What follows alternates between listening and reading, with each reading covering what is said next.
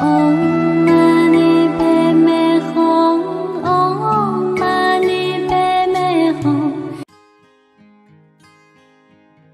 tiệc ở Bút Hà Ba và Diên khiến gia đình Nguyễn Nhật Thành, nhân viên quán, rơi vào khủng hoảng khi anh nhiễm nCoV rồi lây cho chị. Chiều ngày 14 tháng 3, Thành chạy xe máy hơn 15 km từ nhà ở quận Tân Phú đến quán Bút Hà Ba và Diên, số 7 Thảo Điền, quận 2, như thường lệ suốt 2 năm qua. Ca tối của anh bắt đầu lúc 21 giờ, song hôm nay quán tổ chức lễ hội quan trọng dành cho khách nước ngoài nên phải đến sớm chuẩn bị. Thanh để ồ bánh mì, bữa tối của mình, lên bàn rồi bắt tay vào công việc tại quầy pha chế. Các đồng nghiệp của anh hì hục khiêng bàn pizza rời sang chỗ khác để nhường không gian rộng hơn 30 mét vuông cho bữa tiệc. Ở góc quán, bốn thành viên nhóm nhạc nước ngoài tập dượt những bản nhạc pop punk pha hip hop. Bút Hà Ba và Jin đăng ký kinh doanh nhà hàng, rộng chừng 60 mét vuông, có không gian mở. Một phần quán dành cho khách VIP, phần cho khách uống rượu, ăn tối, còn lại là khu giải trí với nhiều trò tiêu khiển như game, pizza, phóng phi tiêu. Khác với các quán xung quanh, Bút Hà Ba và Jin thu hút nhiều khách Tây, phục vụ từ tối hôm trước đến gần sáng hôm sau. Patrick Day là lễ hội truyền thống phương Tây. Khách dự tiệc mặc đồ xanh lá, vẽ quốc kỳ nước mình lên mặt. 21 giờ, khách chật quán, khoảng 300 người, sảnh chính và các khu vực không còn chỗ trống. Họ đi từng nhóm, uống rượu, ôm nhau nhảy, ca hát, trò chuyện cả đêm. Thành và các nhân viên phục vụ không ngơi tay.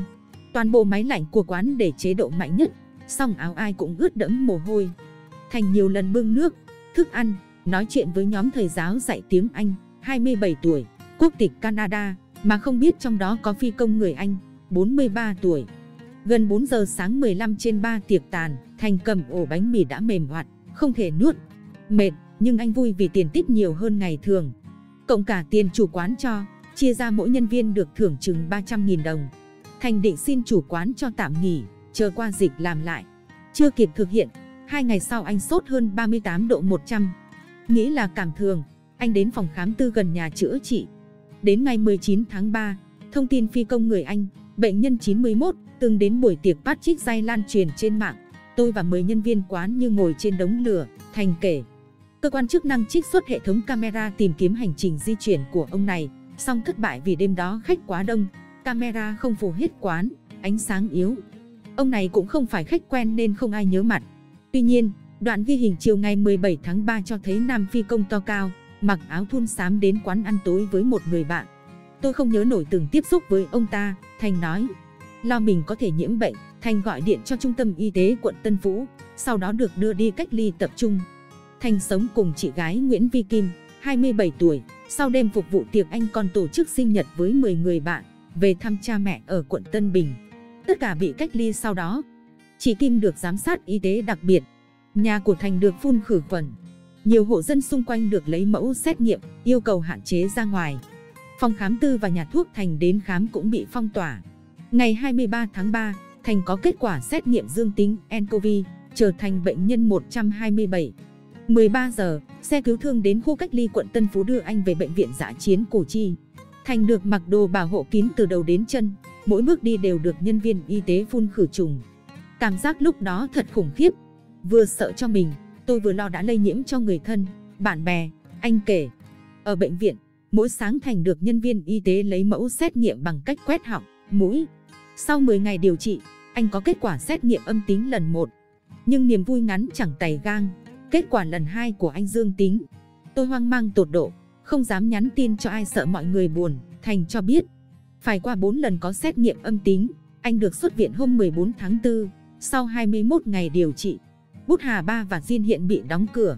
Ảnh Quỳnh Trần Tại khu cách ly, 22 giờ ngày 24 tháng 3, chị Kim nhận điện thoại của nhân viên y tế, hỏi địa chỉ những người từng tiếp xúc.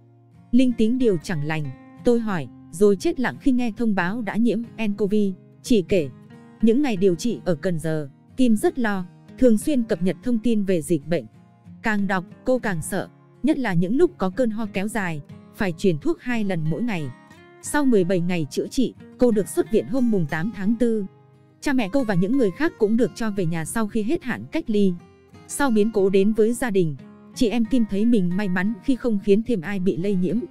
Hiện, họ phải tiếp tục cách ly tại nhà thêm 14 ngày. Hàng ngày nhân viên y tế vẫn đến đo khám, theo dõi sức khỏe. Điều đầu tiên khi hết cách ly tôi và em trai sẽ sang thăm cha mẹ, Kim nói. 19 ca liên quan Bút Hà Ba và Jin. Đồ họa, Tiến Thành. Bút Hà Ba và Jin là ổ dịch lớn nhất thành phố Hồ Chí Minh với chuỗi lây nhiễm lên đến 19 bệnh nhân. Trong đó, 13 người trực tiếp đến quán và 6 người tiếp xúc gần với người nhiễm nCoV. Gần 4.500 người tiếp xúc người liên quan phải theo dõi. 255 người, khách và nhân viên, được lấy mẫu xét nghiệm và cách ly. Để dập tắt ổ dịch này, ngành y tế thành phố Hồ Chí Minh huy động 150 bác sĩ và nhân viên y tế, gần 200 công an, bộ đội làm việc suốt ngày đêm. Hiện, phi công người Anh là ca bệnh nặng nhất tại Việt Nam, ngành y tế phải thường xuyên theo dõi, can thiệp.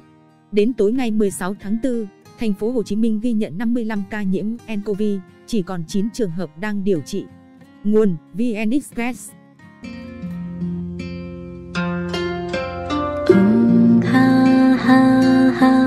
问三摩地梭诃。